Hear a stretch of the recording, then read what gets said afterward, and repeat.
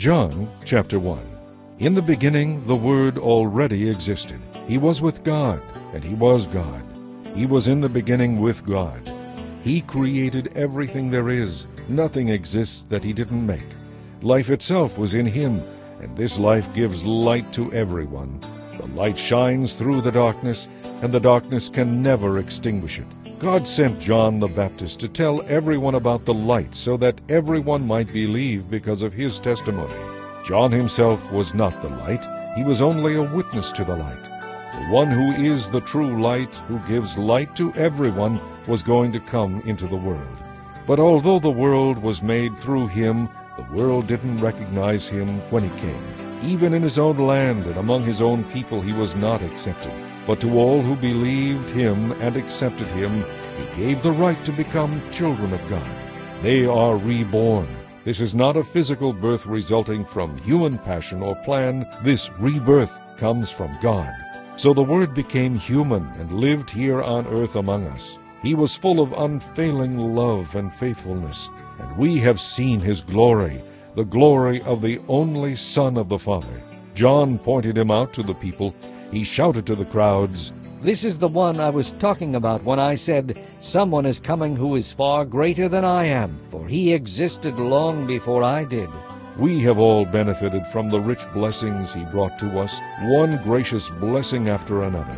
For the law was given through Moses. God's unfailing love and faithfulness came through Jesus Christ. No one has ever seen God, but his only Son, who is himself God, is near to the Father's heart. He has told us about him.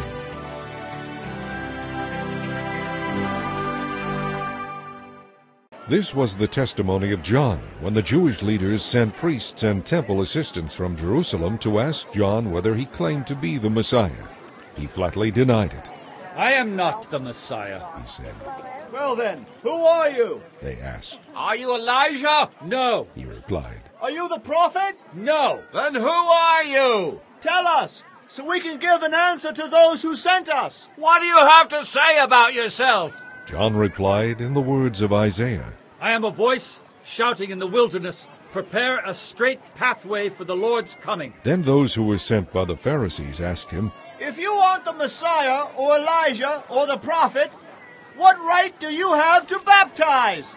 John told them, I baptize with water, but right here in the crowd is someone you do not know, who will soon begin his ministry. I am not even worthy to be his slave. This incident took place at Bethany, a village east of the Jordan River, where John was baptizing. The next day John saw Jesus coming toward him and said, Look, there is the Lamb of God who takes away the sin of the world. He is the one I was talking about when I said, Soon a man is coming who is far greater than I am, for he existed long before I did. I didn't know he was the one, but I have been baptizing with water in order to point him out to Israel. Then John said, I saw the Holy Spirit descending like a dove from heaven and resting upon him. I didn't know he was the one, but when God sent me to baptize with water, he told me, When you see the Holy Spirit descending and resting upon someone, he is the one you are looking for. He is the one who baptizes with the Holy Spirit. I saw this happen to Jesus, so I testify that he is the Son of God. The following day John was again standing with two of his disciples. As Jesus walked by, John looked at him and then declared, Look, there is the Lamb of God. Then John's two disciples turned and followed Jesus. Jesus looked around and saw them following. What do you want? he asked them. They replied, Rabbi, which means teacher. where are you staying? Come and see, he said. It was about four o'clock in the afternoon when they went with him to the place, and they stayed there the rest of the day.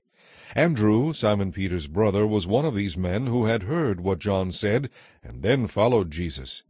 The first thing Andrew did was to find his brother Simon and tell him, We have found the Messiah. which means the Christ. Then Andrew brought Simon to meet Jesus. Looking intently at Simon, Jesus said, You are Simon, the son of John, but you will be called Cephas, which means Peter. The next day Jesus decided to go to Galilee. He found Philip and said to him, Come, be my disciple. Philip was from Bethsaida, Andrew and Peter's hometown.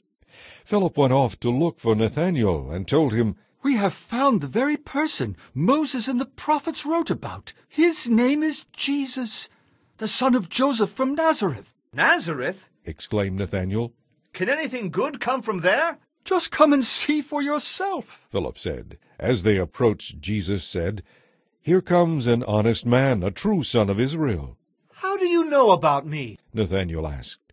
And Jesus replied, I could see you under the fig tree before Philip found you. Nathanael replied, Teacher, you are the Son of God, the King of Israel.